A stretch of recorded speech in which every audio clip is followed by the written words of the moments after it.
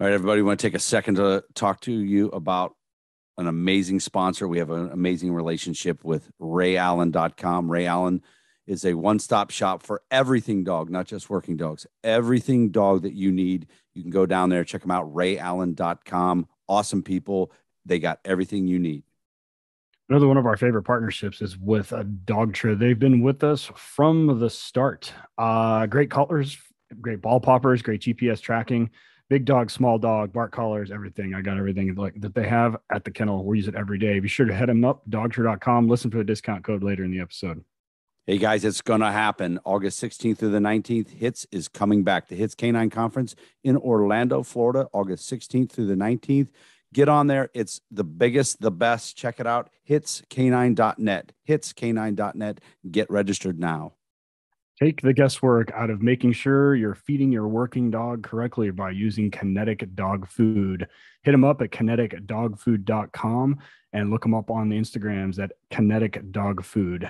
Take all the guesswork out and do it right from the beginning. We love Horizon Structures. Dude, this stuff is so awesome, man. You can get online, you can talk to them, you could build it you want from mild to wild. They'll come bring it to your place, set it down on your pad, hook up your power, hook up your water, and you can put dogs in it that day. If you don't believe me, check out some guys like uh, Justin Rigney. He's got a great setup there. Ask him. Check him out, horizonstructures.com. All right, Working Dog Radio, broadcasting the bite. Uh, I am Ted Summers from the furnace of Tulsa, Oklahoma. With me, as always, is Eric Stambro. Eric, what's up? Uh, my hair looks ridiculous. So I just got out of the shower. I didn't put any gel on it. So don't make fun of me, people. Anyways, uh, what's today? Tuesday, last week of the handler school I got going on. Graduate on Friday. Um, it's yeah, just one. I wasn't going to do any handler schools over the summer, but the agency that I have my uh, commission through needed a dog, and so I did this, this guy's second dog. So we we actually have done green to finish in eight weeks. It's it's been real nice though. The dog, his name is Xander. He's a uh, shepherd, push button piece of cake dog. Great. Yeah, I saw you I, out at the range today. Yeah, I really yeah. love that dog. Yeah, they behind us they were doing a, a, vehicle CQB school, and there was a lot of shooting. And uh, dude, that, that was our first time out there with him because I got behind on stuff, and he he didn't he didn't barely even looked at it. Like he it was perfect. I'm like I couldn't have went any better. I have a Malinois in my kennel that probably would have been different. I think a, a, different. Yeah, I, have got a couple. Um, I just got uh, five dogs in. I got three singles and five duals. Uh, all but one, all but two. One of the singles and one of the duals is not sold yet. They're kind of like provisionally spoken for, but now I've got more. So I got handler schools lined up, like starting at the end of September, pretty much to the end of the year. Um, and it's hot as shit. And it was 109 today before the heat index. Yeah. It's sucks. Uh, yeah. So I thankfully the air conditioner works the kennel though, so we've been staying inside and starting uh, articles and drugs and all that kind of shit. So uh, I have a couple of dogs that are that they're going to require a little bit of distance on the firing line when we take them out to the range. Uh, one of them is a little reactive to like literally everything. So uh, yeah, he's been doing a bunch of capping drills to start before he does fucking anything. so yeah, uh, what else you got going on?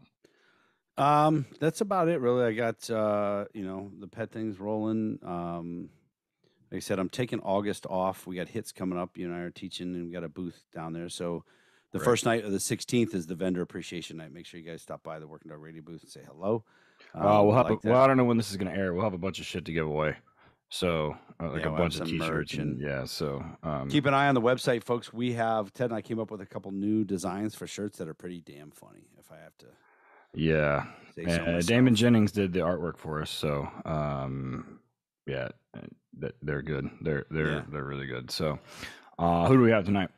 So tonight, our guest who just scoffed at your 105 temperature because the I, Pacific Northwest is under yeah. straight lava, just the surface of the sun for those people out there. It's only been the 80s, low 90s here. But uh, so, anyways, coming back to us again um, from his uh, looks like his his main room at his school is our good friend Michael Ellis. Michael, how are you?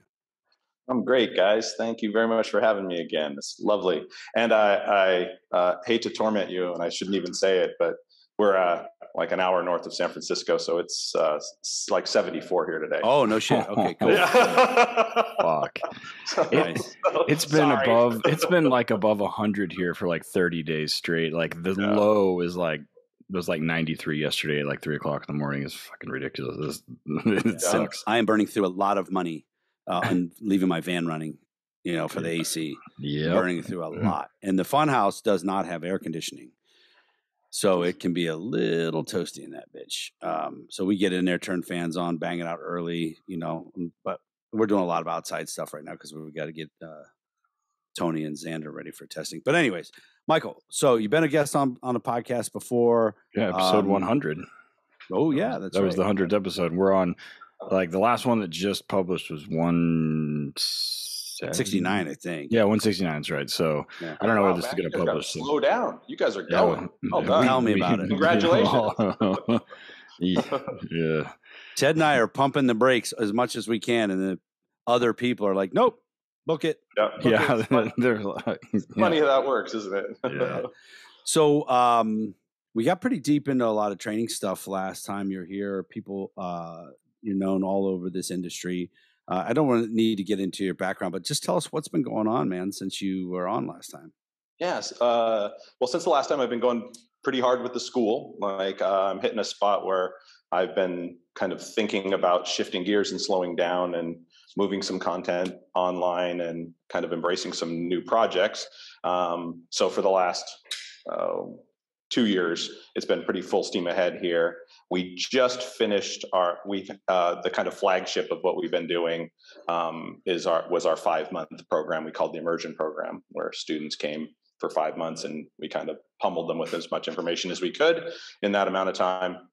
And so we just uh, announced and completed our last one. It started in january um, and we just graduated them at the end of june um, and we had 19 students here for, for five months. So that was uh, pretty all consuming when that's one of the reasons for kind of shifting gears i've been doing two of those a year for the last uh, 13 years so um, it's about time to kind of back off a little, give some time to, you know, you hit a point where, yeah, and I'm sure you guys are, you guys are going to be getting there if you keep up the way you're going. Is that, that there's a momentum to those things that kind of doesn't allow you to create new stuff.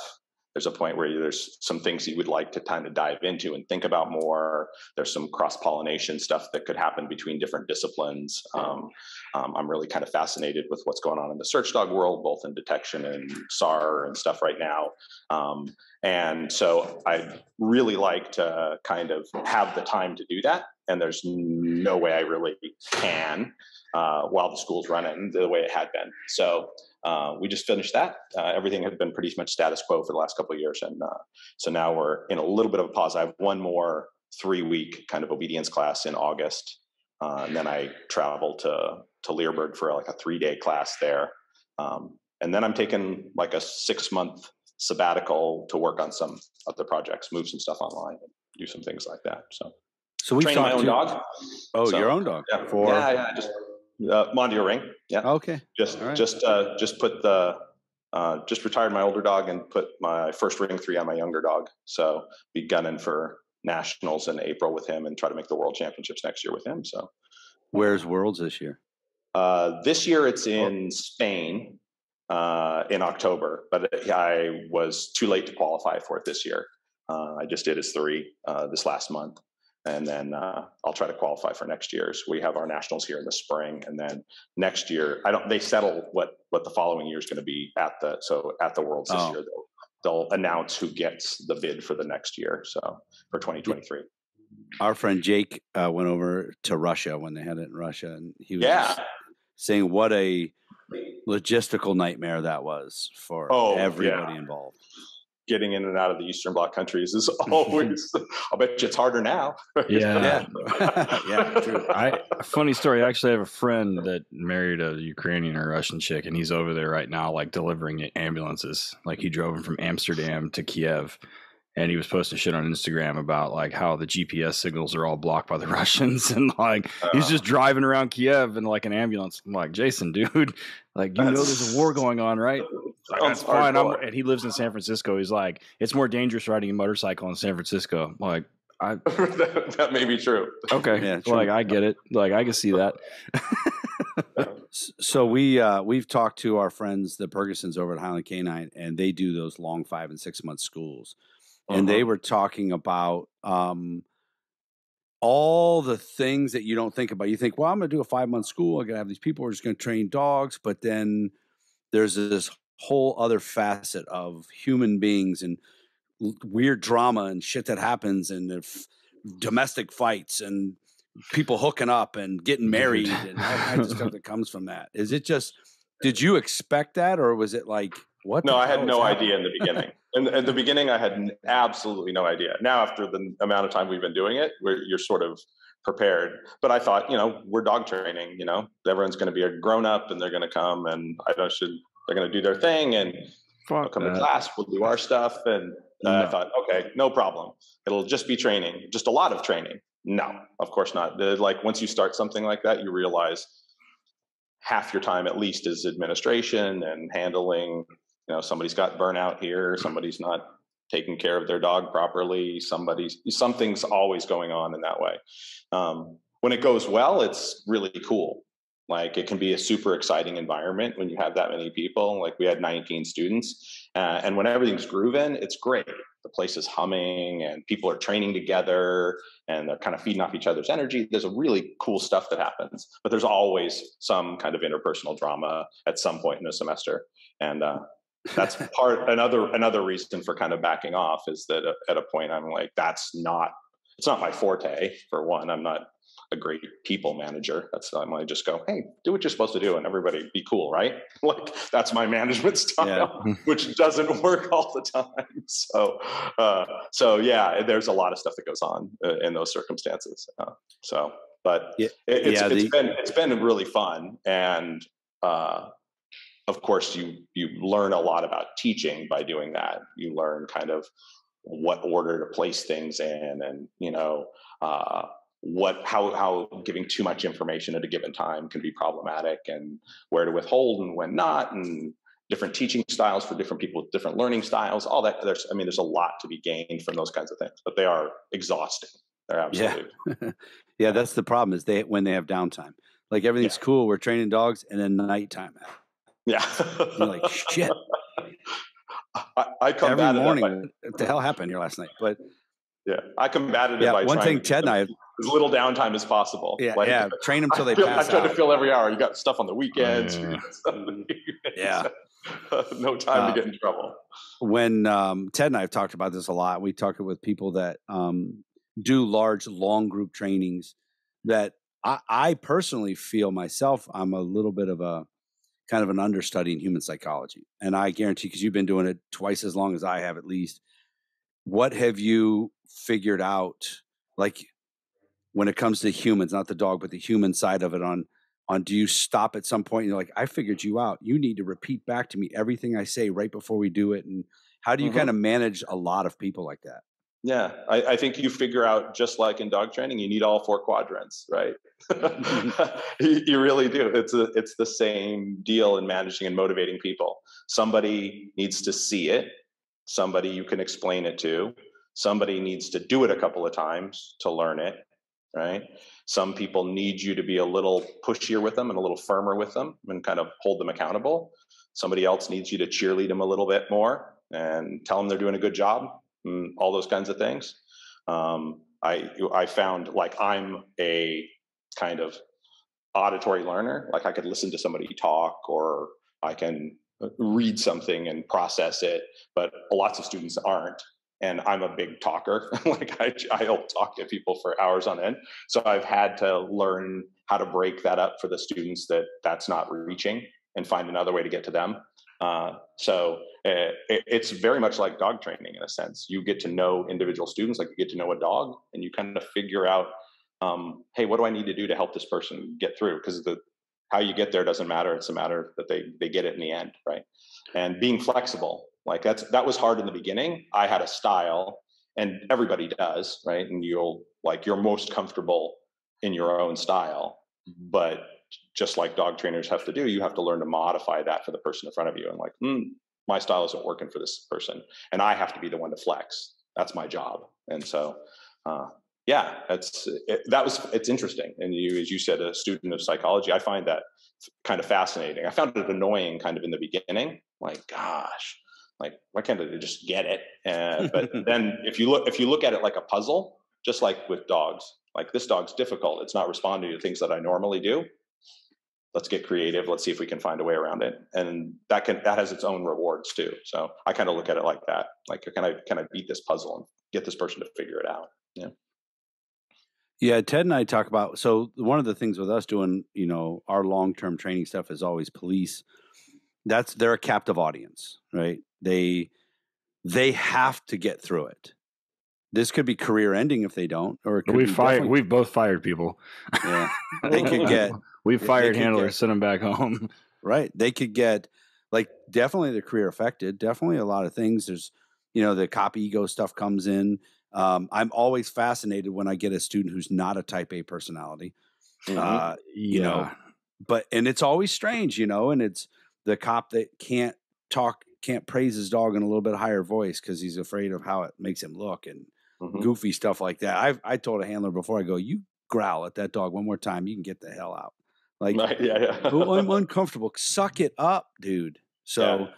it's like my training style when it comes to that, though and I think the guys who know me now, who went through my class when I was a full time cop trainer uh, at the police department, I was, you know, I would just get so sick and tired of mistakes, and I would just go the fuck off because I didn't have all, you know, too much of that. And so everybody like, oh shit, Eric's getting pissed or whatever, and it was kind of well known for that. But like this class going on right now, the handler who I've known for years, he told my assistant, he goes, he hasn't yelled at me at all. What, what's, what's happened? Nice. Yeah, ah, yeah, I'm 52. That might be part of it. You know, I, I feel like I'm I tired will, of that. yeah. I will 100 percent admit that I shape, I shape handlers and and my like current staff that I have. So like I start out and I say I'm going to show you, and then I'm going to tell you, and I'm going to stand here and watch you. So I have a trainer that he's a little bit hard headed sometimes, and it's not that he doesn't listen. I think he just has to. He's very much hands on and he keeps doing shit over and over and over again. And I was like, and I finally just kind of say, I'm like, you know, you could do that right, and it would probably go a lot smoother. And he'd be kind of look hmm. at me. And same thing with canine handlers. Like they'll do shit. And Eric's seen me do this at the HRD HRDs. Like, well, somebody will do something. I'm like, okay, well, we can do it again. Let's do it right this time. And everybody kind of stops and turns. And I'm like, it wasn't that bad. Like, but just do it correctly. like, like I don't yeah. mind that you did it wrong. I my next handler school coming up is pretty much full. It's going to be six guys, and all of them have had at least one dog. Some of them had more than one. I'm like, up, oh, this is going to be like a big mm-hmm. clash of, and it's all guys that I like kind of know or in the periphery. All of them are from Oklahoma. Right. One of them's from Texas. Um, one of the guys has been through HRD. Uh, one of them is one of the most well known. He's actually been on the podcast. Anthony Moore is going to be one of my handlers schools. I'm I got. Oh him. no shit! Yeah, I got Anthony's next dog, Pablo. He tried to fucking kill me today. Uh, hmm. It was not pretty. Uh, like Anthony. He's spicy. he's he's he's hot. Uh, so uh, it's going to be interesting. Um, but they're all accomplished handlers, so um, it, will be interesting to see like new guys or experienced guys with new dogs. And then I've got one guy that is not, so he's just like going to show up and be like, "Okay, here's the end of the leash you use." and here's the other end of the do- where the dog's at, and so it'll it'll be interesting, uh, and it definitely challenges. Uh, that one shouldn't be that bad. I've had some people that challenge my patience, um, but for the most part, uh, I say this all the time: canine handlers are like the best. Most of the time, are the best that we have in law enforcement. Uh, they're the best people. Um, they're typically the most motivated they're some of the most coachable people, which is one of the best things. And typically, when they come to me, like they're there for like they want to find drugs and find bad guys. So like that's what they want to do. So yeah. it's generally not. I don't have to motivate them. Uh, I've had some people that came through, and I'm like, you know what? There's like a hundred other jobs in law enforcement. You should go do one of those.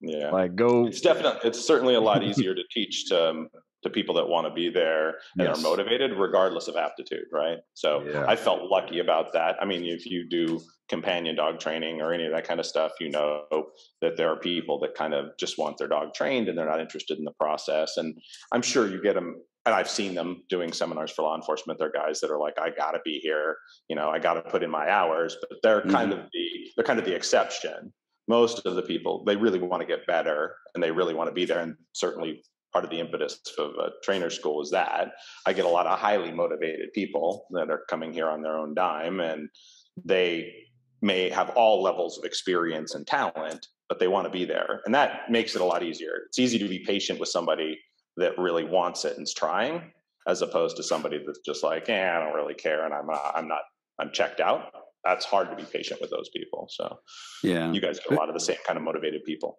Right. And one one thing that helped me uh, lately is I got a guy who works for me part time. His name is Jordan, young kid. He doesn't get mad. He doesn't get angry. I, how? How is that possible? But he doesn't. so there's been two handlers that only got through school and graduated because of Jordan. So I would I would get so frustrated because it was continually the same mistakes. Like mm. 50 times the same mistake. And I would leave the room. Like the one guy, I just would leave the room and or leave wherever I go sit in my car and Jordan would have would work with him.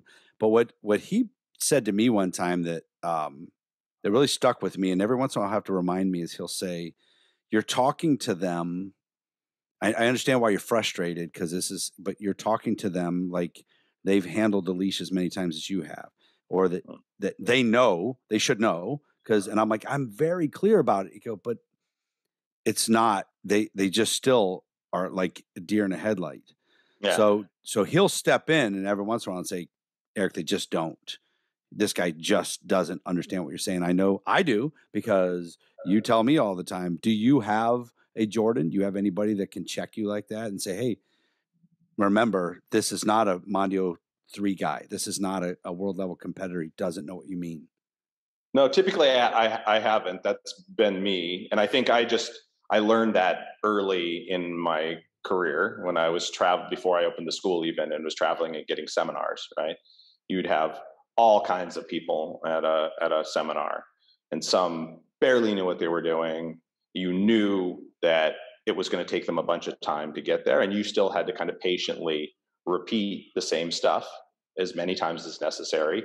And, you, and I learned early on when I would get frustrated, it did nothing beneficial. I I really felt you everybody gets frustrated. So Jordan gets frustrated too. Even he, he may hide it well and he right, knows yeah, how to yeah. keep it down. Everybody does.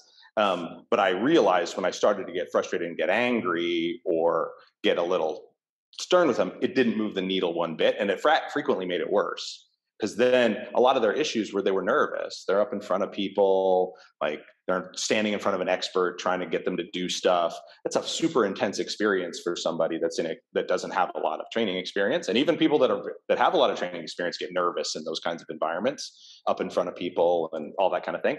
And so once that kind of clicked i had my wife uh, um, was an actor and a teacher and she talked to me a lot about like planning and teaching strategies and a lot of those things. And once I kind of realized what the job was, uh, then I took pressure off me. Like I like your performance doesn't reflect on me in this moment. It's just can I get through to you over time? And I realized that keeping my temper in check uh, helped with that, and losing it didn't help at all, and frequently made things worse. And so I've kind of had a lot of practice at it. So now I, in the moment, I'll just be calm, cool, collected.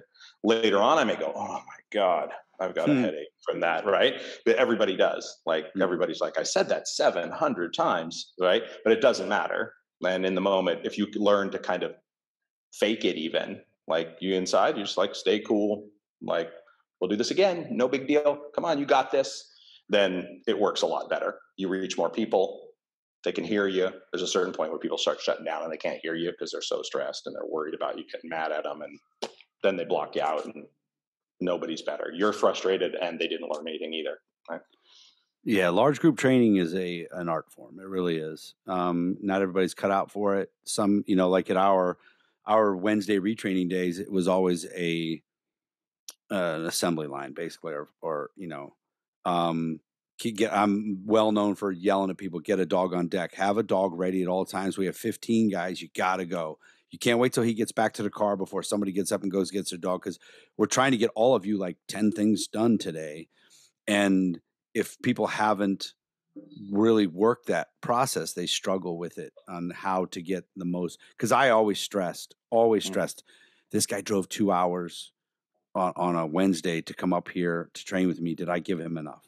Yeah, know. of course. Yeah. And and so I, and I did, you know, I did. But there were, you know, you have to kind of change the culture of that stuff. And And the truth and the truth of the matter is, there's somebody out there that like you getting on them a bit helps them. Like they're they're in the minority, I think overall. More Mhm. people are are respond to the patience and kind of repetitive nature of it. But I remember years ago I was doing a seminar and there was a Marine that was in there and I was telling him to do stuff and I told him like the fourth or fifth time and he was getting mad at himself because he because I reminded of him something the fifth time and he's like, You just gotta yell at me, man. Like I'm used to that. That's what gets through to me. Like you're just calmly telling me and it's not getting there. Just yell at me, man. I couldn't stop laughing. Like yeah, he, for him, like somebody blasted him, suddenly motivated him in some fashion. He's like, okay, okay, I really got to concentrate now. So maybe Right. there is somebody that that would could, you could possibly help, but more often than not, it's not a help. right. And you know, the guys don't. The guys that are struggling because maybe I'm not teaching the way they need to teach. Maybe just telling them and not physically showing them right away. Mhm. It just doesn't work for them. They'll never speak Yeah. up. They never Yeah. speak up.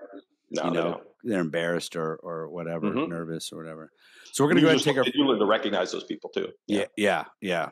We're gonna go ahead and take our first commercial break. When we get back, we're gonna talk about some training concepts, um, things how some things have changed and evolved over the years uh, for Michael and even myself and Ted and things like that. And um, so stick around. Uh, don't skip through the commercials. The show show notes have all the discount codes and everything like that. And don't forget workingdogradio.com. We got new t-shirts. Hopefully by the time this comes out, those will be loaded up. So Oh yeah. get on there and check them out. So we'll be right back.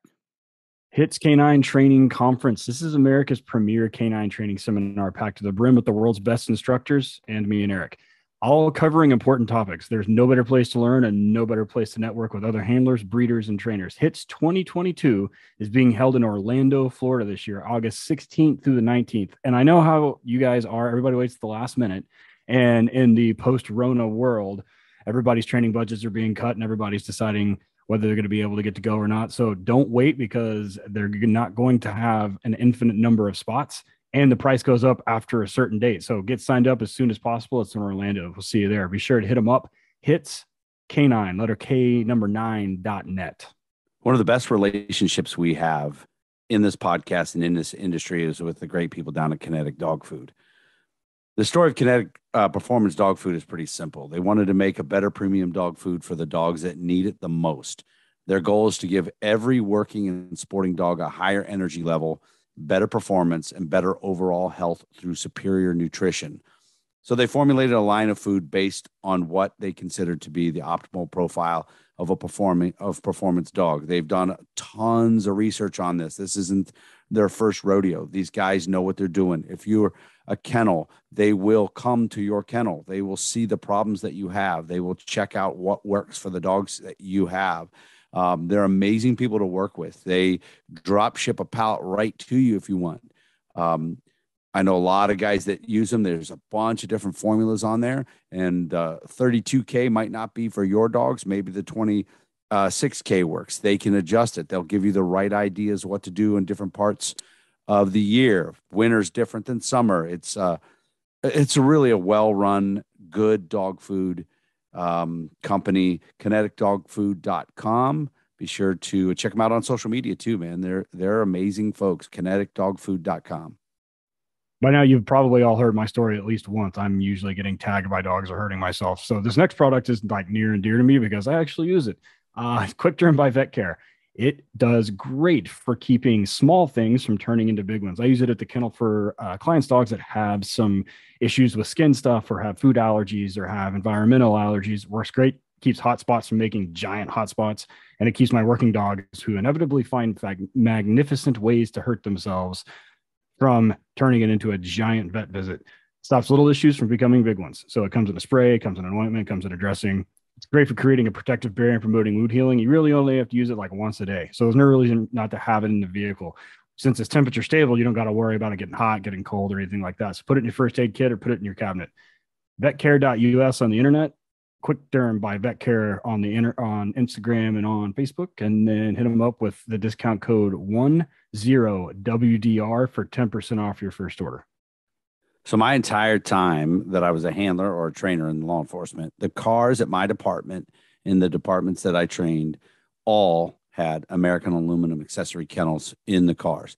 Different cars, man. Dodge Chargers, all Ford models, some Chevys, uh, SUVs, cars, everything. We loved American aluminum accessories.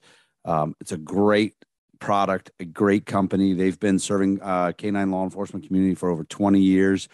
You check out their uh, website, EZ, that's the letter Z, ezrideronline.com, they got testimonials, they got videos on how to, they got a list of everything they have. Uh, just today, we made a post on the Working Dog Radio social media showing a dog that survived a really bad crash because of the American aluminum kennel in the back of the car. Check them out online, guys. EZRiderOnline.com. Just let them do their thing, man. Whatever car you got for your work, your patrol car, get a hold of them, American Aluminum Accessories, and get the best in the business. Next up comes uh, training courses online from our friends down at Highland Canine Training, Jason and Aaron Purgason. So, in the post Rona world, uh, training budgets have been getting cut. People aren't going to be able to travel, whether it be instructors or they be canine handlers and supervisors going somewhere else for training. So, Highland has announced a lot of online training courses. One of those that, that sticks out to me is their police supervisor canine course. And it's no secret that one of the problems with canine tends to be some of the supervision issues. This course is specifically designed for administrators and covers utilization as well as liability and FL, FLSA issues. The course can be taken at your convenience and you'll receive a certificate of completion at the end. When you go to Tactical Police Canine Training, that's letter K number nine, training.com, and use the discount code WDR30, you'll get 30% off of that course. All right, we are back, Working Dog Radio, broadcasting the bite with uh, our friend Michael Ellis, the owner of the Michael Ellis School for Dog Trainers.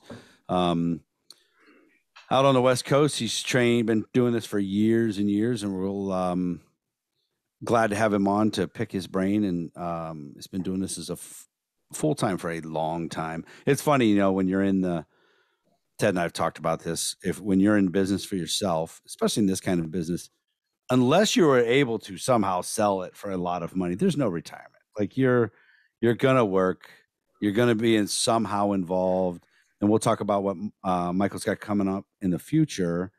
Um, you know, different things kind of evolving with the times a little bit, which I am way behind, and getting bitched at by somebody who you probably saw fly back behind him in a chair earlier and I just haven't I just haven't done it yet. So, anyways, um, welcome back. Uh, so, Michael, um, I tell everybody, I tell everybody that my training style and the things I do and the things I say and the things the techniques I've used have evolved and changed several times over the years. And I've only been in dog since 05.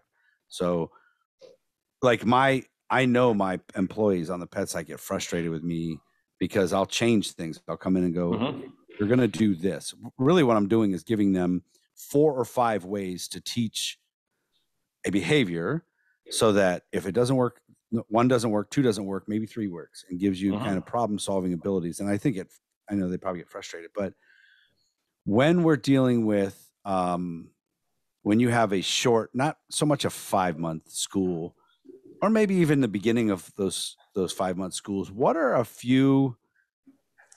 Uh, because I, I, always say with when we're doing pet owners and things like that, it's like drinking from a fire hose when we're teaching them. Like there's so much information that we're trying to give them that they end up having to do follow ups and things. What are a few key concepts or even verbiage that you have found over the years that these like three things everyone gets? This sinks. This they might not remember at the 20 things that you worked on but mm-hmm. these three things always work. So I think um, for much of what you're describing, by the way, before I, I get to your question, is that is the evolution of any good dog trainer. Like, so if somebody starts out and they really are students of dog training, you should be modifying and adding and changing and morphing your training for the rest of your life, right? And if you're doing the same exact thing you were doing five years ago or 10 years ago or something like that, you need to look in the mirror uh, because you've stopped evolving and the discipline never stops evolving. We're talking about communicating with another species, right? It's in, it's kind of incredible that we can do it at all. And so for me, it always goes back to boiling down to some super basic training principles that I really try to get through. And there's a lot of different ways to communicate. It depends on your audience, right? So if I'm communicating to a, uh, a, a young mother, I'll talk about it in terms of ch- children, right? And things like that. You find a way to make kind of core concepts accessible for that person.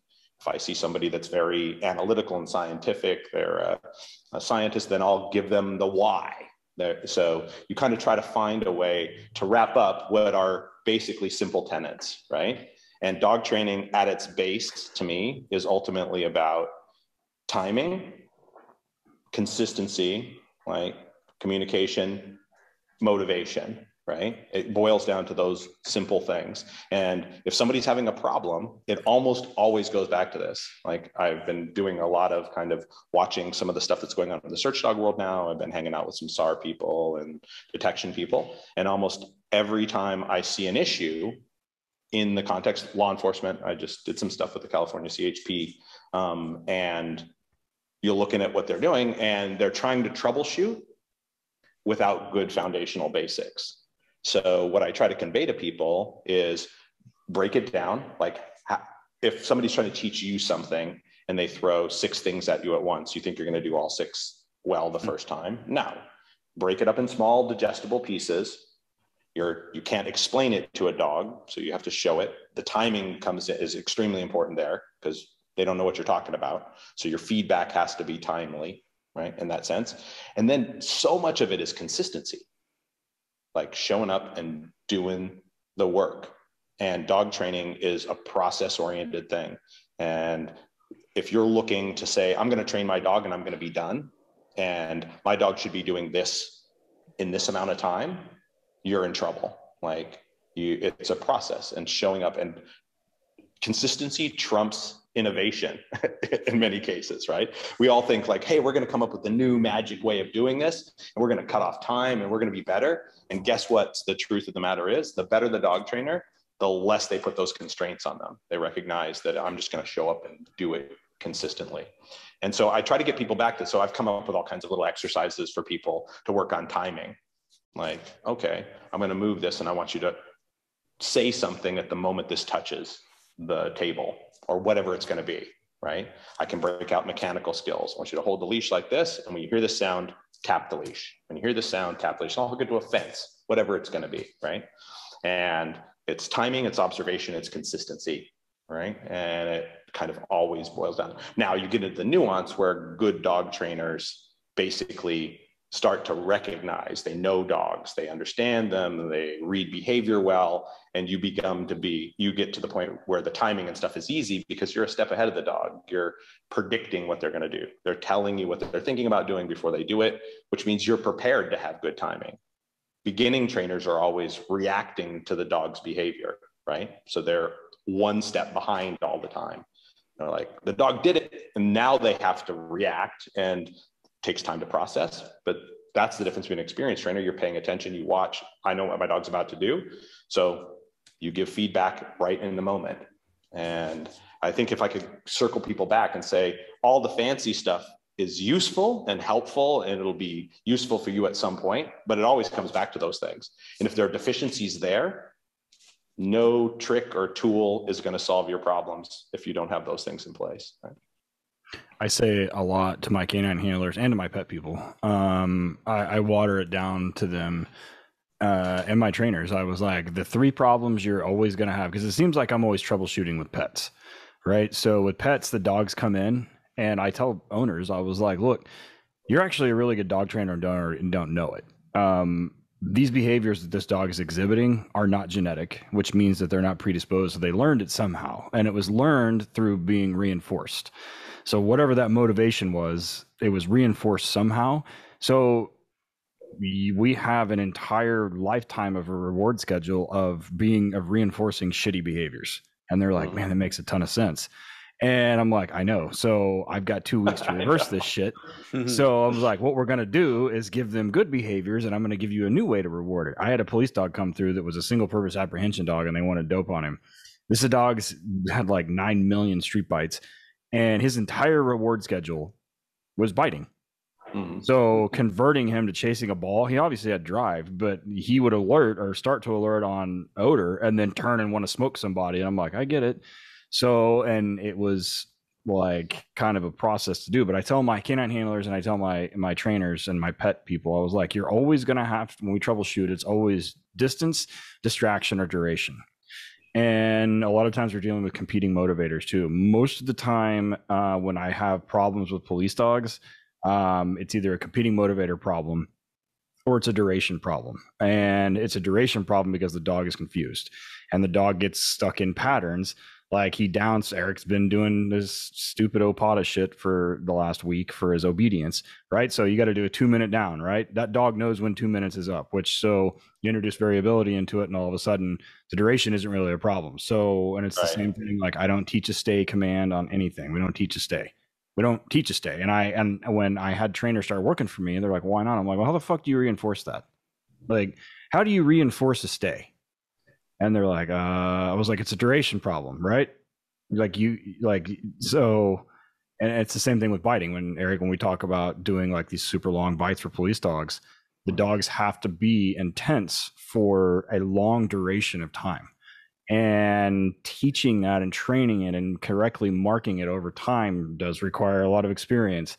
And you know i mean i was out tracking with some handlers the other day and i was like watch this. You're about to get a change behavior and a proximity alert like you know where the decoys at i'm like no but i just know like just watch him speed up he's got all four fucking feet going like he's leaning into his harness like if you had skis on to be pulling you dog gives a head throw i was like call it and the handler's like, I don't know how. I was like, because I've trained a thousand fucking dogs to track. That's why, like, I know what it looks like. So, yeah, you're right. I mean, those guys are constantly, you know, and when Eric and I do these handler schools, what we're teaching these hand because they show up and the dogs are pretty much done. Um, and I tell them, I was like, you know, we could certify with these dogs today. You can't because you don't know what the fuck you're doing. But I was like, you know, the entire time here, I need you to really understand like what changes of behavior are, what they mean, what they look like. This is what it looks like for this individual dog, and like all the case law that goes with it and everything else. And like Eric mentioned, it's a it's like drinking from a fire hose. But like distance, distraction, and duration are typically the things that I deal with with pets and police dogs. And when I troubleshoot stuff, when I'm when I'm training, I go back to like good timing and capturing behaviors. Like on all of our police dogs, none of them have a track command. They just do it, and it's all it's all contextual. We get them out, we put them in a harness, let them piss or whatever they're gonna do. We sit them, and then we cast them. And the cast is it. Like there's no there's no like. I mean, we say seek soup just because it makes people feel better, but for the first two months that they're tracking, we don't say anything. They just do it and they don't have an option. Like I don't really let them do anything else. I'm like, you're gonna do this, or you're gonna get put back up, and they're like, okay, I guess we'll go play and go seek. So, yeah, It's true. It's and and it's important, I think, to remember that um, the way the same things that we would do to teach a dog, you need to do to teach a person. Like you recognize that after you've been doing these things for years, there's stuff that you know that you don't even remember when you learned it or how you learned it, but it's in there now. And there's no substitute for time and experience. Like we have a five month program, five months is nothing. Like if you're starting from scratch, you're an infant dog trainer after five months. You've got some concepts, you've learned some physical skills. There's the life experience portion of it. And if we teach a dog, what do we do? What's the first thing we do? We break it down into small incremental pieces, digestible pieces. We don't ask for the whole enchilada in one go. We don't teach complex behavior chains all in a lump. Like, and we shouldn't do the same thing for teaching handlers and people. It needs to get broken out in pieces. And then there's just the repetition and life experience, and somebody guiding them can help with that and they can speed it up a little bit, but it, it takes years to get good at it. Like anything, like give me one thing that somebody becomes expert at in six months or a year or five years, right? Like it takes time to do that. And it's, it's important, I think, that we remember that, uh, especially when we're teaching people, because you're going to have all kinds of stuff that you just know. And I forget to remind people some basic stuff e- easy animal husbandry stuff and all that stuff that you've picked up from handling dogs from the time you were a kid that somebody had to teach you at some point, and now you don't even remember who or where. And so I, that uh, for me helps with the patience part of it, right? When you get into that, is the fact that oh yeah, right, we've been doing this for a long time, and we're still learning stuff. And so think about the poor person that's been doing it for six months or a year or whatever. And you guys in law enforcement, I mean, the guys that come into canine, they're going into canine not based not because they're dog trainers because they're police officers with a good service record and they want to go into canine so lots of them are just like somebody that's learning about dog training from the ground up and you're giving them a very motivated yeah. challenging creature on the end of a leash so yeah. a lot, a lot of a lot of sympathy for those guys right in a lot of ways if you start to think about it. That's it. Yes. it's not easy. It's not easy at all. Is there anything um that you used to because maybe that's the way you were taught when when you first really started that you used to do that you've stopped and you're like i can't really believe i used to do that. And for me it was i can tell you for me we were all just choke chain yank uh-huh. and crank and um, my e-collar work. Now i i believe i'm a really good e-collar trainer and teacher uh-huh. of training e-collars but when i first started took over as the trainer dude it was just we're only using it for out and recall, smoke them, you know, all the other stuff. And I and I look back and I'm like, what a waste of time, and we spent so much bullshit time when now I can get what those behaviors in two sessions. Oh yeah, you know? yeah. Oh, absolutely. mine probably mirror yours a lot. So when I learned dog training as a teenager, right, and, uh, like it was straight up Koehler method choke chain obedience. You know, you taught a dog to heel by lunging them. You walked, you know, drop slack and leash, turned around, went the other direction, yanked them off their feet, kind of all that same stuff. So certainly don't do that. There are skills that I learned doing that kind of work that are useful to me now in terms of timing and impersonal corrections and things like that. But all those methodologies have been modified and and changed significantly. So I certainly would never train a dog like that. And my journey with the e-collar too probably mirrors yours. Like when I was first introduced to the e-collar in the 80s, right? Then it, we only gas powered back then, weren't they? Yeah. To... It, it, had an old had an old Tritronics that had three levels, and to change a level, you had to take the collar off the dog and change the plug on the back. Dude, those things were hot. Those yeah, things light yeah. you up. I and had one of those in the office, the old kennel. Holy shit! Yeah, those things ugly. were those things were rough. It looked like the phone from that Zach Morris had in like Saved by the Bell. They were like That's exactly right. Huge, right? And and, and so when we we use those. Those things only came out when you had a problem and you blast the dog. And more often than not, we made the problem worse. Like it solved the problem one time out of 10. And so there was a period after my initial kind of exposure and attempts to use an e-collar early on that, uh, that I didn't use one for 10 years. Like we just stopped. I'm like, those things are crazy, man. You mess up so many dogs with those and the dogs you fix are, but of course the way we're doing it now is completely different, right? So mm-hmm. absolutely, I would never just break an e-collar out and put it on a dog for an out like we did the first time. dog never had a collar on. Let's slap this sucker on there and see if we can get you to out now because you're not outing. All those things that I I went through certainly, right? Uh, but the funny thing is, this is one of the things that I struggle with a little bit when teaching students. Like we I did a ton of forced fetches when I started in dog training. It was the methodology. If you were going to teach a dog to retrieve, you did a forced fetch, right? And so, um, and we approach teaching retrieving differently now. And it doesn't mean we don't use pressure, but we certainly approach it very differently now. Um, but there were a whole bunch of skills I learned doing that that benefited my dog training education. So although I do don't do forced fetches the way we used to do forced fetches, I learned timing, I learned kind of staying calm when a dog was under stress. I learned to work through difficulties. I learned what was a kind of an appropriate level of stress that a dog would rebound from and what was getting into unproductive uh, territory where a dog wasn't going to rebound. And so you learn to read dogs in that sense. So those are skills that I've acquired. And although I don't teach that way anymore, you get dogs in those states of mind and you're able to handle that. And so when I'm teaching students, I'm like, wow, we learned a lot of stuff in terms of how to yank on a leash appropriately and impersonally that is useful when you need it. We need it a tiny fraction of the amount of time we used to need it. Right. We're smarter about the teaching phase, but how do I convey those skills to somebody without having them go through it? And it's almost like you have to learn those things when you're naive. Like you don't know anything the only way you can kind of commit to those type of methodologies is when somebody, the expert's telling you and you don't know any better. Don't You're know like, anything, yep. okay, the guy told me this is what you do. So this is what we do. Like, I don't know. It doesn't feel right, but whatever. Like they say this is it. And those dogs are trained over there. So this must work. Right. And so that kind of allows you to commit to it. Once you start to know more, you start to think and question. And once somebody out there tells you that there's a better way, it makes it very difficult. So I struggle with this all the time with students like, okay, you guys need to learn some of these skills. And so you get all kinds of people that are super good with the reward based aspects of it, but their leash handling isn't so good. Right. And they don't get as many opportunities to learn it because if you're smart with your food manipulations and things, you don't need to. Uh, and so I, it, I feel it's a, it's a weird thing to try to talk about. And then also the idea that as dog training evolves, that um, what's new is better always. It's not. It's not always better. And we have to be careful as we evolve because there's a lot of stuff that is better and we understand things better. But you also don't want to throw out useful techniques and useful ideas just because they're old either, right? People have trained animals for a long time and there are aspects there that you want to keep alive and keep intact. And so being able to talk about that and just going like, oh, that's passe. Yeah, some parts of it are, but some skills that come out of there are useful. And those are interesting waters to try to navigate uh, and make sure you keep the good stuff that's been here forever uh, as we evolve and add new stuff too, you know? My biggest change has been food.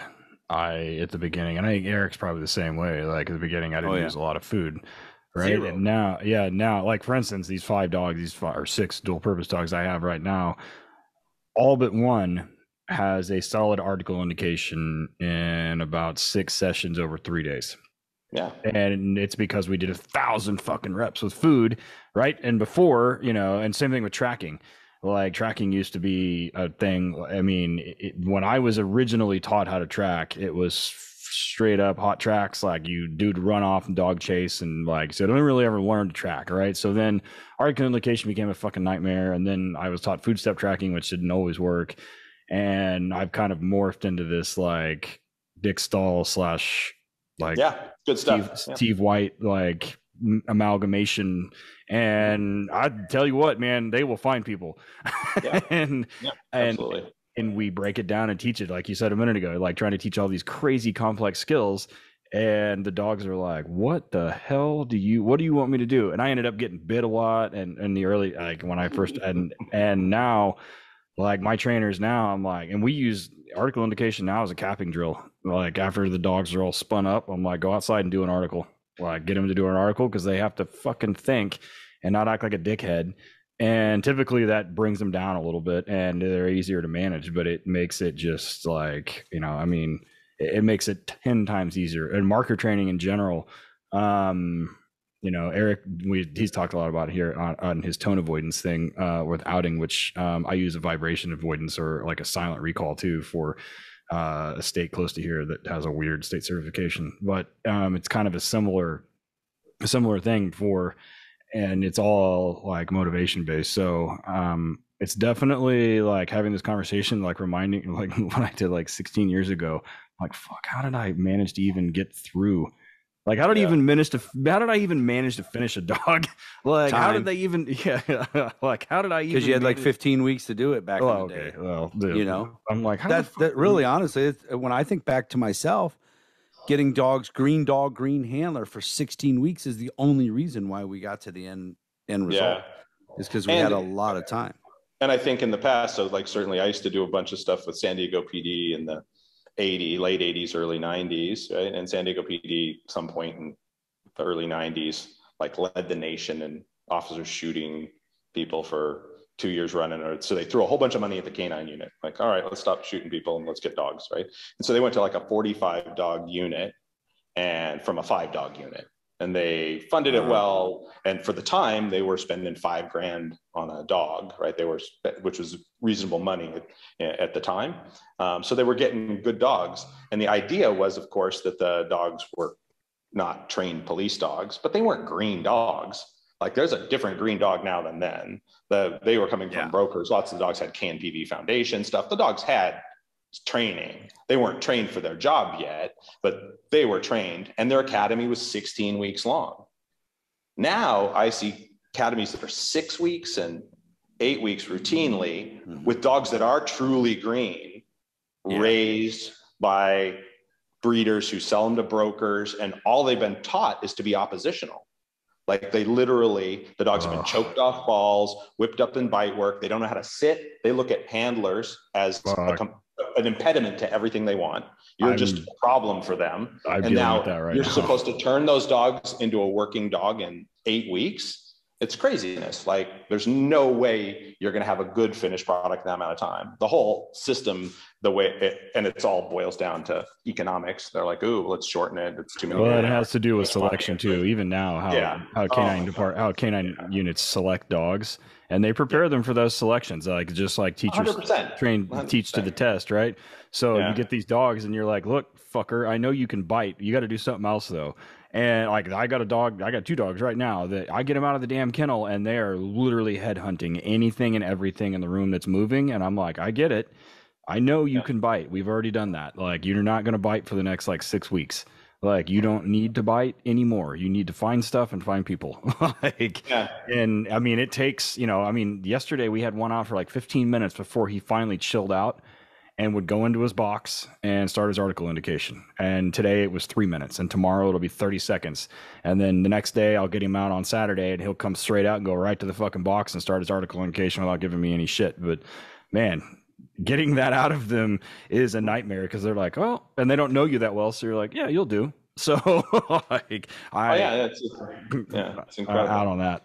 I just ask my uh, vendors when they send me a dog, I'm like, listen, just put a sit on him before he gets here. That's it. If he has a sit, I can start doing something that day, you know, with marking it and then moving on and things like that.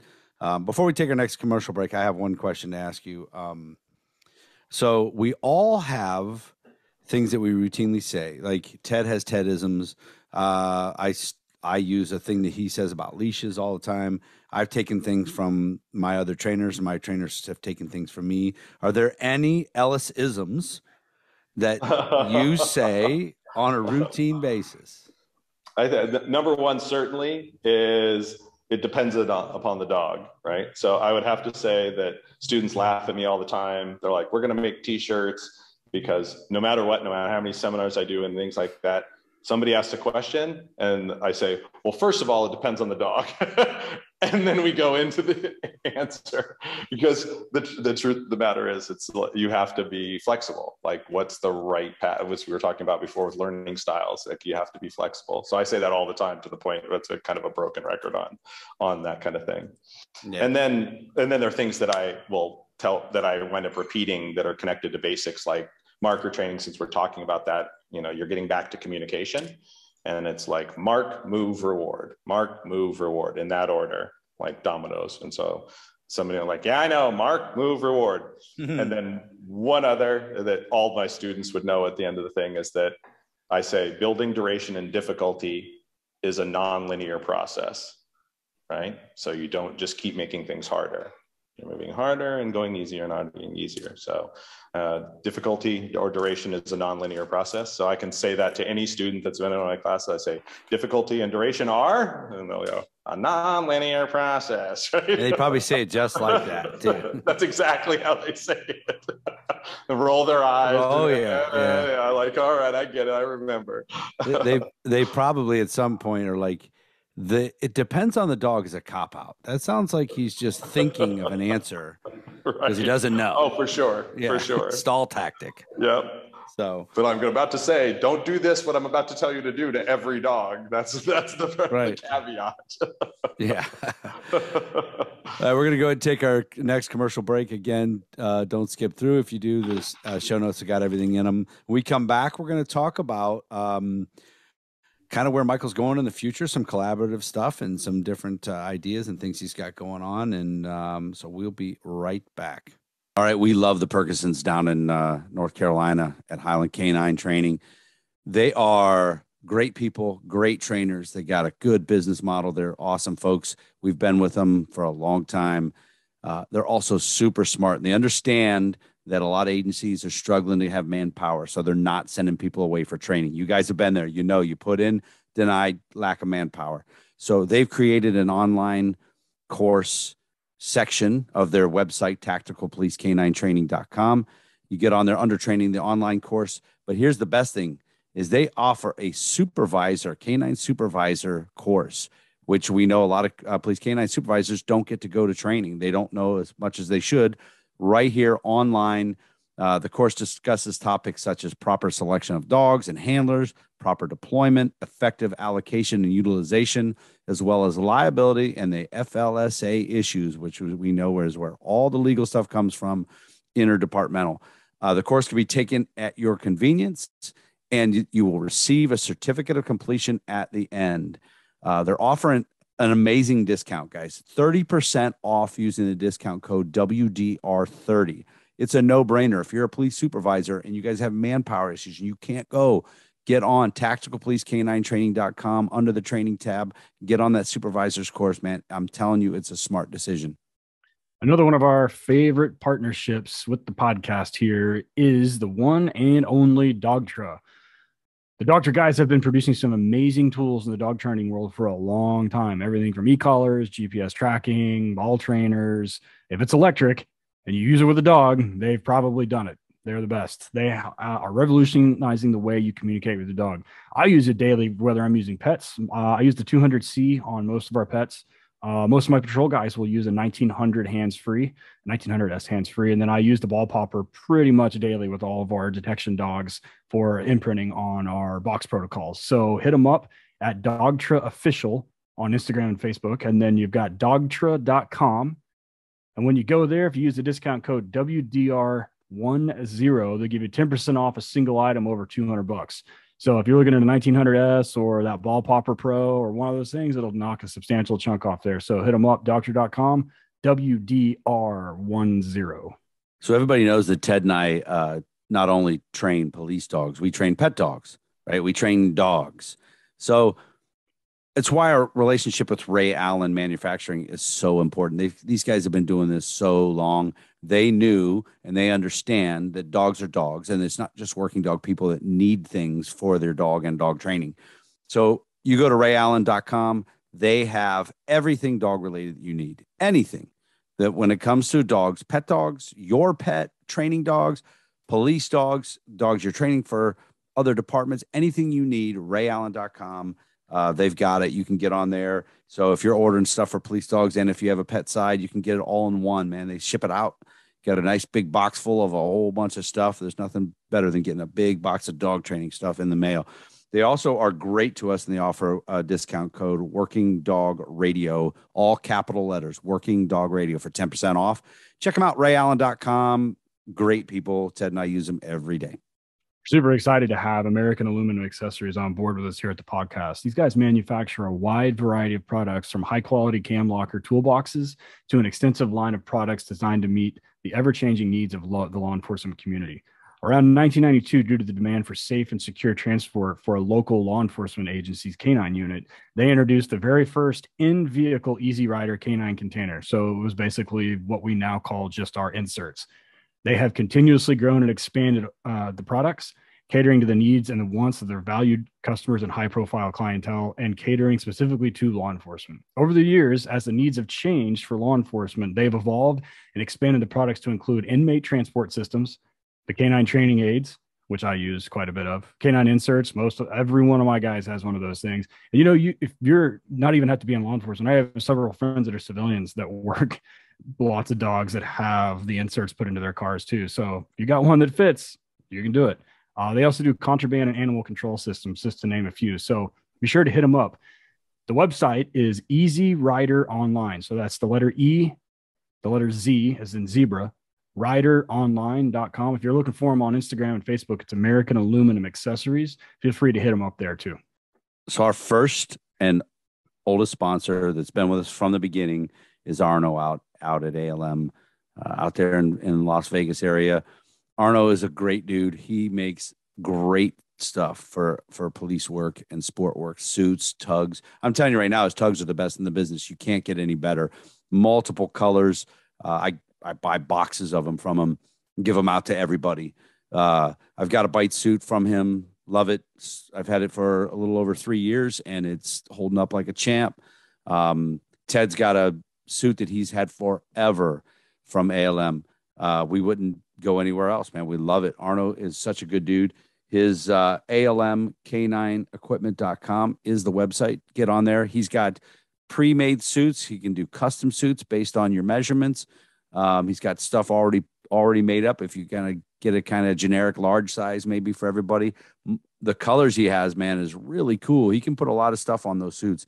Uh, check him out, almk9equipment.com, and use the discount code WD Radio for 10% off you know, running a kennel is one of those things that I always worry about is cleanliness and safety of dogs. And it's it seems like it's an ever changing issue being able to house dogs and move things around everything else. So the guys at Horizon Structure make this as easy as possible. Literally the only thing you have to do is have water and power hookups and they deliver it and you can put dogs in that day and it's comes built, comes on a trailer. They just drop it off. You plug it in, put dogs in it, and you're ready to rock. You keep them clean, you keep them safe, you keep them cool in the summer and warm in the wintertime.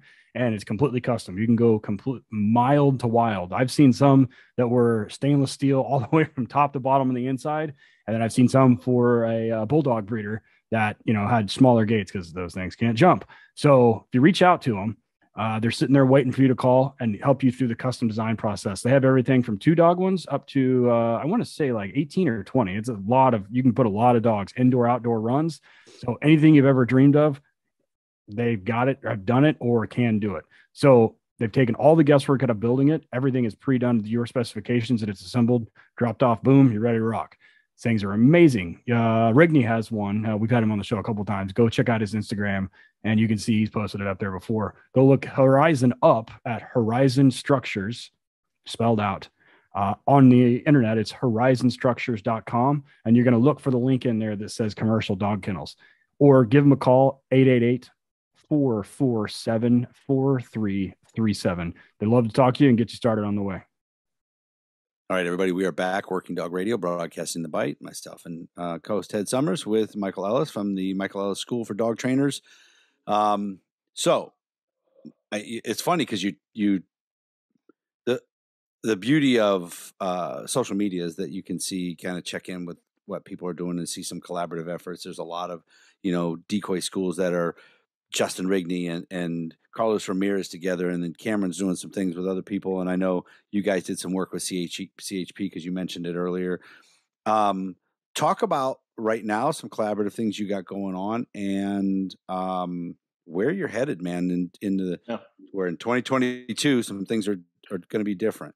Yeah, absolutely. So, like I think I mentioned at the top, the after my the obligations I have in uh, August and September, I'm going to take a break, and part of that break is to convert a lot of the courses that we've been teaching in person and live to online content versions so that people that can't take the time to travel to school and stuff can access them and i don't have to stand in front of a classroom for seven hours a day uh, you know five days a week kind of thing and i have more time to do some other stuff. So we're working on taking stuff we've already filmed classes that i've taught a lot for years and putting them in in kind of online formats so they're available to people um, and then that'll allow me to kind of engage in some other projects that I'm really interested in. Um, one I already mentioned, I'm I'm interested in kind of uh, helping some other disciplines that I have spent a little less time with, the SAR community, the detection community, come up with good foundation training concept stuff, right? Like all like dog training is dog training, it's the base level. And so getting down to things that connected to motivation and communication and those sorts of things for uh, specifically for search dogs a lot. And so Cameron Ford and I are uh, talking about doing some teaching together. Uh, so Cameron happens to be here. Oh my God! There's no way. Yeah. So we're talking about doing some teaching and stuff together, potentially uh, producing some videos uh, on on different topics of foundation work. Um, I have been planning a book for a lot of years, and so I get to kind of dive into that.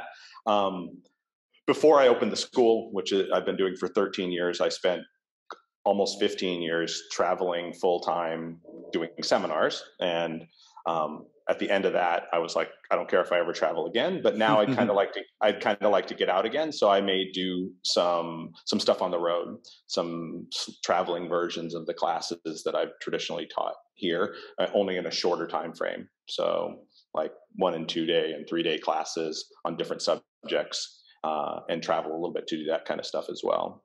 And then there's some ideas in training, kind of connecting the science uh, to finishing work in competitive dog training and and to any working dog disciplines that I'd I'd like to kind of create some new material around that stuff as well.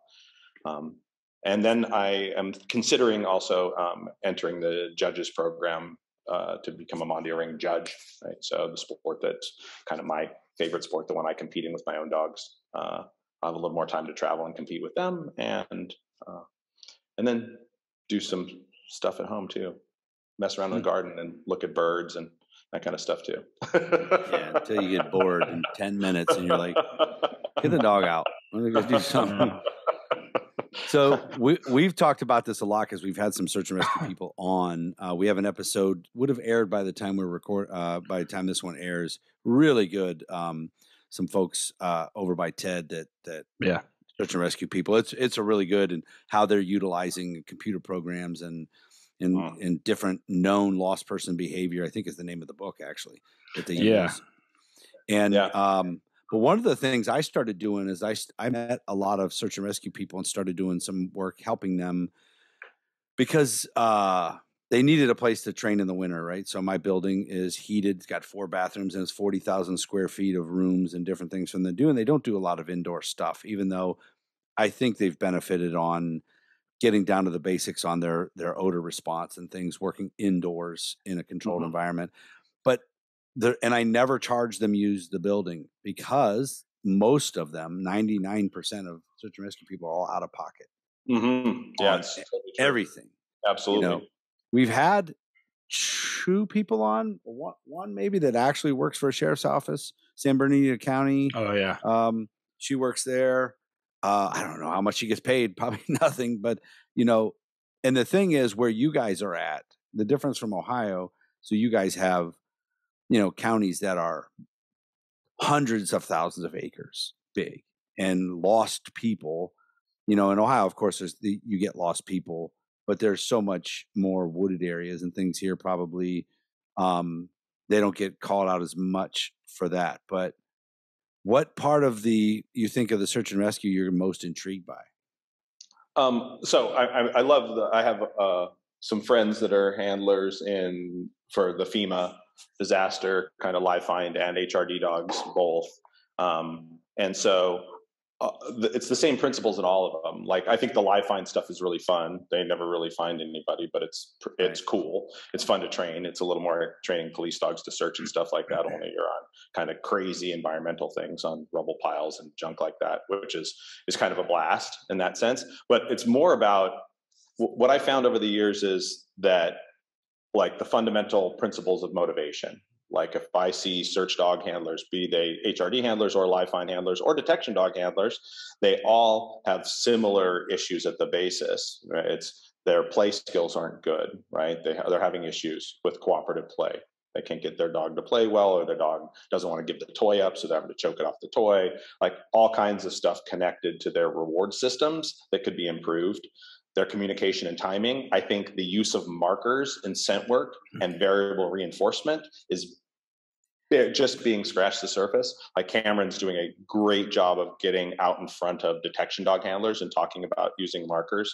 You don't have to just mechanically pay at source all the time and actually using those productively as well as the idea that you could potentially use variable reinforcement in search work. Like almost we do it in every other aspect of dog training with spectacular results. Search dog trainers are afraid not to reward their dog for searching. Like every time the dog finds odor, it needs to get rewarded. It's not true, and we need to find a way to communicate that to them. So I'm looking at some foundation training principles, and I think that area is ready to receive them and they could strongly benefit from them. So that's one of the interests. If I start talking to a bunch of competitive obedience trainers or bite, bite sport trainers, they already know this stuff and they're on board the SAR community and the detection community is ready to receive it now, uh, but there's still skeptics. A lot of the experts in the field are like, oh, I don't know about that. But I think a big change can be made there. And so I'd love to be a part of helping that happen in some fashion. And that's what kind of intrigues me. Can we take these ideas and look at a place in the dog training community that hasn't been reached by some of the more modern ideas about training? And can we get that to them in a language that they understand? Like there's always trainers out there that'll be able to hear, see a concept in one area and go, oh, I see how that applies here. But those people are in the distinct minority. Most people, you have to put it in a package that talks to them in the context of their discipline. And so that's kind of what I'm interested in, in, in seeing if I can make happen or help happen, I should say. Cameron's kind of spearheading it right now in the detection world, but yeah, um, we we run into that on the detection side too. And when you start oh, talking about variable rewards with like old school dudes, they look at you and they're like, "Oh, they have oh, to be yeah. rewarded every time." And I'm like, "You do know that gambling works for people, right? Like and i know it's anthropomorphizing but like the reason it works is the same reason like i'm like yeah. you know it's it's fucking psychology man and they're like they kind of look well, at you the science behind it and sure. then there's case law us versus bentley right so it's this whole like and, and what you notice too is like we notice it in protection work, we notice it in obedience work, and all those places. Import performances actually improve, right? So as soon as yeah. you concept of maybe you inter- you increase dopamine production, dogs work harder, like all those sorts of things that we're worried about, and those dogs uh, don't don't uh, start false indicating nearly as frequently when they're when they're running blank searches because when, they've had reps where they haven't been reinforced, right? So if you're getting rewarded on every search and then you run searches where you don't, the dog's like, well, I don't smell anything, but I better throw something out. Like I should get something here and behaviors go extinct more quickly when they're rewarded every time so that be, they'll be less persistent. There's so much there to explore uh, and that world i think could really use it right now. For my tracking handlers that are listening to this whether it's dual purpose patrol or for just like search and rescue uh, there's a scenario that i do uh, about three or four times a year um, where uh, we do a track and halfway through the track we get information that they've seen the suspect or seen the person at another location, right? So the handler doesn't reward the dog. They just fucking book it back to the car, go to the next location, get him out, and pick up the same track. They come out of the car in fucking murder mode. They come out of the car at Mach 10, and like every handler is like, whole, even especially the single purpose guys. And I've done it with some search and rescue people to track, and they're like, holy shit, this dog is on fire. And they're like, why? I'm like, variable reward.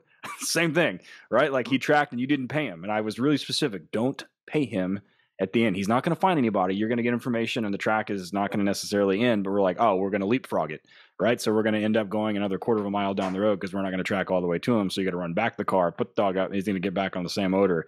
And they end up like, those dogs come out and talk about like a massive change in body language. And it's only like a 45 second like gap.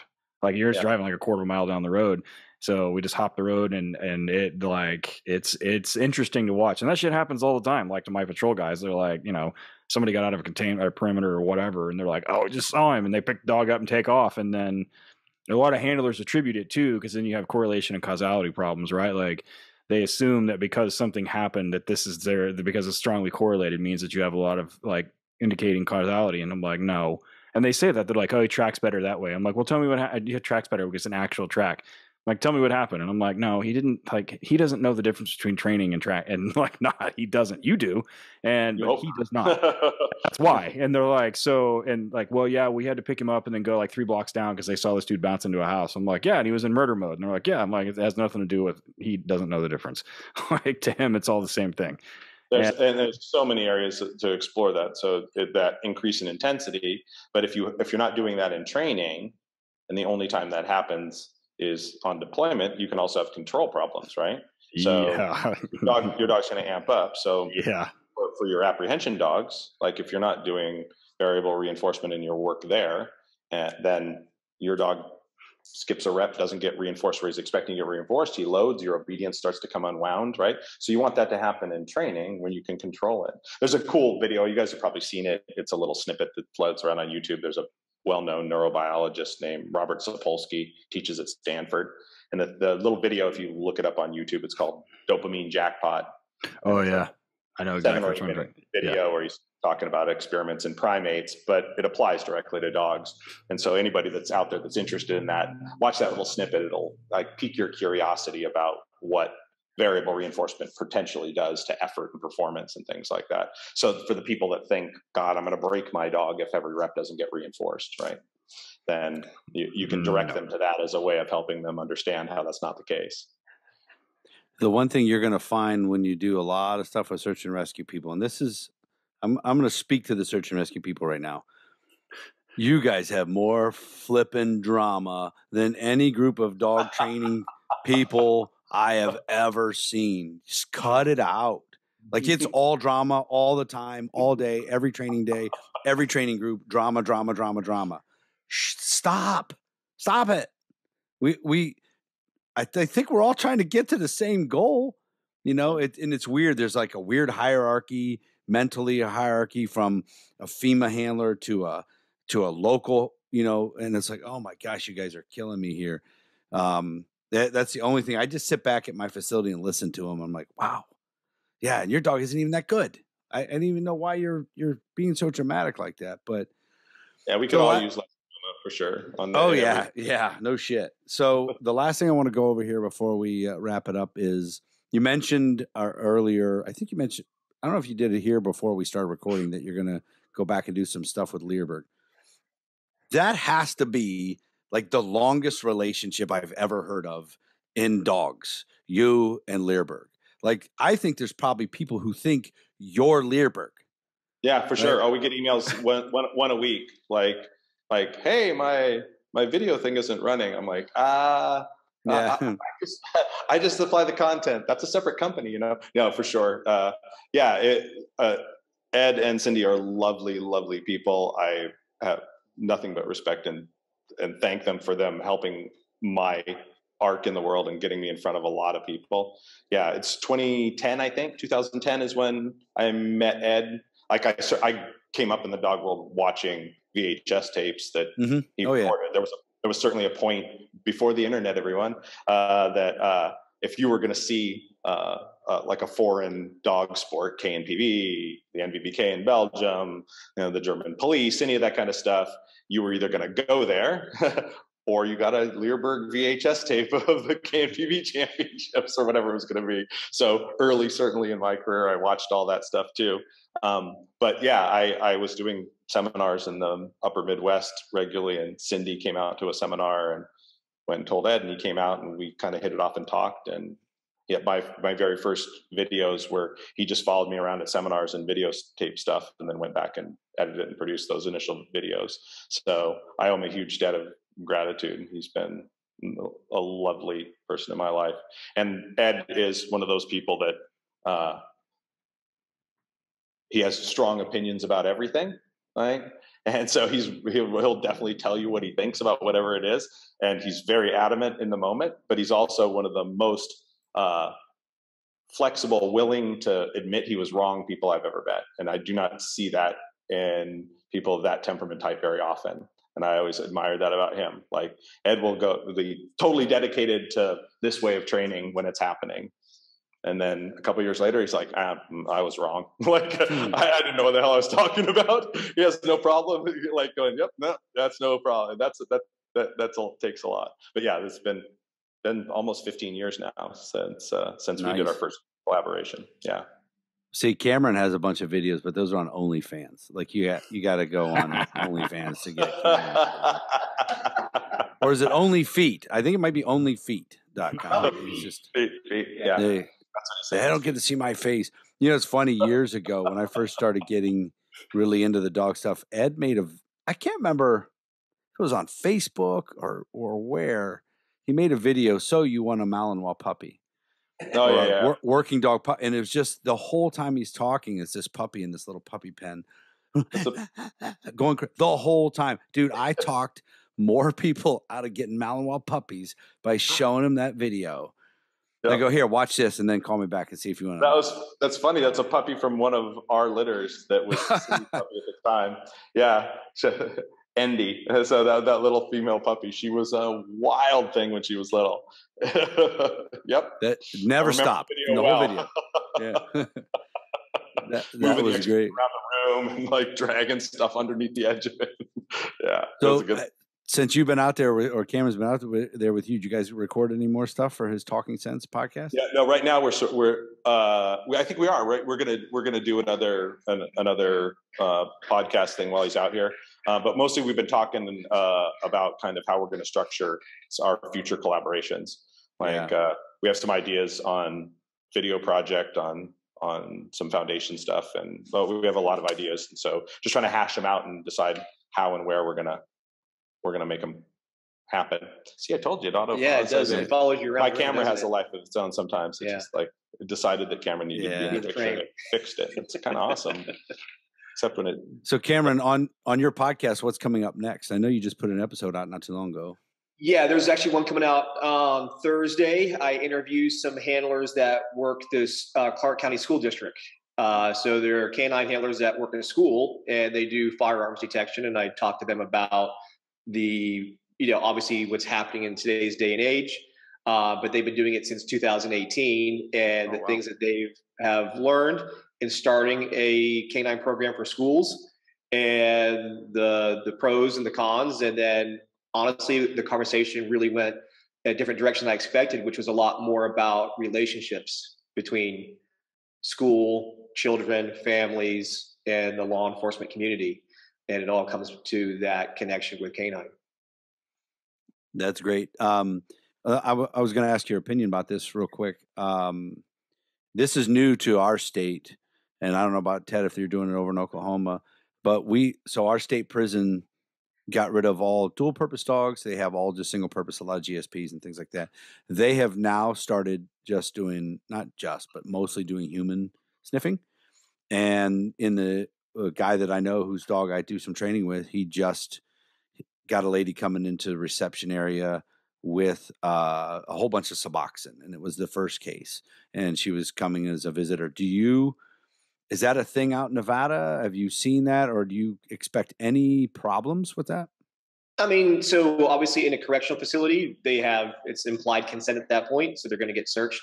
Um, uh, so legality wise, not a big deal. Um, it, also depends on everything falls back to the dog's documented training. You know, has the dog been trained on that particular chemical? And um, we understand certification is important, but obviously, Florida v. Harris said, you know, that's not the end all be all. It's the training documentation that's the most important. So at the end of the day, if this unit that trained on that uh, chemical, um, you know, that narcotic, uh, has it documented, written, and they have followed a standard, and that standard could be reviewed and tested.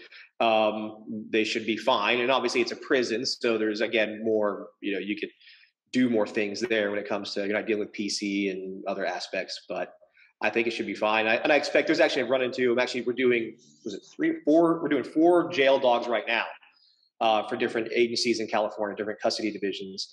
And there's some unique things when you're doing dogs in, in prisons when it comes to detection for sure. we just finished two uh, at a department. I'm not going to say where they're at, but um, and I'll tell you what they are. If you handle a dog in a correctional facility, you will be fucking busy, much busier than a road handler will be at finding drugs. Uh, I think it's probably easier to find drugs in jail than it is on the street, judging by how much stuff that they're catching now, and um, they're extremely successful um but yeah it's a uh there's some definite like unique things about running them there's not many dual purpose dogs it, like dedicated to corrections here. We still have some um at the department of corrections um well it's in oklahoma our state prisons are uh private. So um wow. yeah so those are those are run like those they're not inmates they're um tenants. And but so there's a couple of other like unique things about that but they have some they still have some dual purpose dogs i think. I don't think they ever get to use them but i mean they're there but they yeah they they run a ton of dudes with finding they run a, they run they find a ton of shit so Yeah, one of the unique things is just how low of an odor you have to work because Yep. it's stuff like liquefied, embedded in paper. Oh wow, yeah, I didn't even think about that. Yeah, Yeah, Yeah. and it's and it's limited only by that inmate's imagination or how they want to bring it in, how they're hiding it, all kinds of stuff. So, it, it, I would say for me as a trainer, it's been a, a challenge in the sense of trying to think of all the things. And I have my trainer is also here, Natalie. Uh, as we as we you know brainstorm things or go over ideas, one of the biggest things is in that environment, what's a drug dog is different than that drug dog working the road because the frequency of the items you're looking for are just so low odor volumes that that's not a normal uh, way that we've dealt with training drug dogs when you're doing, like I said, the patrol dog or patrol aspect of narcotics. One thing that's changed, um, my my handlers train inside the correctional facility, um, and they came to me and they're like, uh, "Should we be introducing contraband?" I was like, "No, you do not take odor in there." They're like, "How are we going to train?" So I have them using get sent tubes. Uh, and it's already it had like they were done with school the first month. I was like, "What's going to happen is you're going to be back there training, and then you'll be like, oh god, we need you to come to like the we need to go here and search. You need to do this or do that. You're going to drop everything and go do something else, and you're not going to be able to pick your aids up." And it happened almost immediately. I was like, "If you lose a get sent tube, big deal." well, you can't do anything with it. So, uh, but it's already happened, and their admins kind of fought them a little bit on it and fought me on it. I'm like, just and they're like, "Oh, this is a great idea." I'm like, oh, "I'm glad you guys thought of it." Correct. Yeah. It's great. Cameron, I'm pretty irritated now that I gave you those get sent tubes when you were visiting. they, they, are a great tool, especially Dude, yeah, about. they are. Yeah, I'm just. I had to talk to Michelle, and she had to because listen, it, our episode with him uh, from Get Sent Tubes uh, would have already they've already seen it from Blue Line. And if you watch it on YouTube, it's just me with my mouth open the whole time. Like, like I, I don't get it. Right? You know, I didn't get it. And um, it's like a caveman discovering fire. Yeah, I'm like, what? and uh, so oh, I was out in Colorado with Michelle, and she just said, you know, what it looks like under a microscope, and it kind of that kind of made sense. And dude, I'm using them every day, every single day. Oh yeah, yeah, dope and explosives. I got some uh, precision explosives discs. I got get sent tubes in them. So now I, you know, that 55 grams is it's been in there hell two weeks. You know, so the odor. I I, I am playing around with it. I find, um, like if I set it on a just on a big shelf, just set it on the shelf. The dogs find odor, but they I find they have a little trouble kind of narrowing it down a little bit. But if I put it in a thing, in a drawer, in some man, they are crushing it. Like right yeah. on it, man, crushing it. And I'm I've been super duper happy with it. Like super. I was gonna say the new precision explosives discs now, the inside of it is what they're calling the get set ribbon, which is basically imagine the tube just kind of cut open and laid out flat in a super thin millimeter. And but it's a lot bigger surface area because mm-hmm. it's the size of the disc. So that's oh, another game. Yeah. Yeah. Dude, and real quick before we get off here, uh, I don't know if I told you this. I got the Tads from them before a long time ago. Did I tell you I, that you know that paper that they put in there that I thought was just a packing paper and I threw it away? Nope. Yeah. That's like the whole fucking thing. I, I know now. like that's the thing. The rest of it's just fucking plastic and glass. Like that's I was the thing, dude. And then I talked to I fucking talked to, Michelle. she, yeah, she's. I told her that she's Eric. like, "Oh my gosh," what, what, and what, whatever. But I'm using those, and I got her to uh, send up some tubes with that Noda and some stuff. She sent me one of the uh, the couplers. They made one of the new couplers so you could put two jars together yes. with the thing in between. Yep. So I've been That's so awesome. Yeah, yeah, I've been making my own tubes. Uh, so it makes it much easier to to to load ATF tubes out of my place. That's all I Yeah. About, so. Anyways, um, so Michael, uh, where can everybody find you, man? Like if they want to go check out what you got going on. Yeah, so our, our website, michaelellisschool.com, uh, on Instagram at the Michael Ellis School, right? So those are the places where I have most things. I'm, right now, everything's sort of in stasis, so there's not a lot of information right there. So, uh, but there will be. I'll make an announcement on this on social media on on Instagram and Facebook, and we're going to launch a new website uh, for the beginning of next year that'll have all this the, the current projects on it. So our old class website will shift and and we'll we'll switch gears. Nice. It will it be the same name? Yeah, I think I'll keep the. I'll yeah. just call it the Michael Ellis School and nice and continue down the same path. Yeah, that'll be cool, man. That'll be super exciting. What about yeah, social media? Yeah, uh, we're on Instagram and on Facebook. I don't do a lot on Facebook. I'm on, on Instagram a little more frequently these days, right? So, and don't I, I'm not a huge social media guy, so what- Don't I'm expect on- an answer. I'm on there. I'm on there infrequently. I'm a little bit of a I am going to try to help him with that. Yeah. I just periodically go on there and talk at the camera for a little bit. That's it. Yeah, and then never look at any of the responses again. You're like Joe Rogan. No, I definitely don't. I. I, I, if you say anything, I will not see it. I won't see a comment. I won't see any of that. So don't please don't be offended if you Yeah. said something. yeah. I didn't say anything back. What about you, Ted? Uh, Ted underscore Summers on Instagram, uh, Torchlight K9, letter K number nine, and Torchlight Pets on Instagram Facebook. Uh, obviously, Pets is pet stuff, uh, which has been, I've gotten like seven doodles right now that are, we're doing a service dog for one of the school districts, like an emotional support thing that just basically we're teaching the dog like how to not jump on people and accept hugs and not lick on people and act like a weirdo. He's cool. He looks like a big piece of chicken, fried chicken. Uh, I can't even remember what his name is. His name's like Exactly what Monty. look- I know exactly what color you're talking about. Yeah, exactly right. You know, he came in. I was like, my fat ass thinks that's a chicken nugget. Look at him. And the the lady that owns him is a therapist at the school, and she's like, oh, he's a. She said he's some kind of he's a caramel. I'm like, oh yeah, that's what he is. Sure, he's KFC. Uh, and then so HRD Police Canine. Uh, and then obviously working underscore dog underscore radio. Uh, HRD is pretty much booked up. We're going to Canada twice this year. We're going to Vancouver and Winnipeg, and I think those are both closed. Um, we've got we're going back to Indiana. Uh, we're going to Punxsutawney, Pennsylvania, to go see the groundhog. That'll be good. Um, yeah, so hit that up, hrdpolicecanine.com. That has where all of the uh, seminars are at. And what about you? Van S K9 on Instagram, Van S K9 on Facebook. You're better off just going to Instagram. That's where I post most stuff, and it populates over to Facebook, so you'd see it there anyways. Uh, Ridgeside Canine Ohio is the uh, pet side of the house. If you want to see some cool stuff, I do not post anything on there. I have people that do that, and they do a flipping great job, man.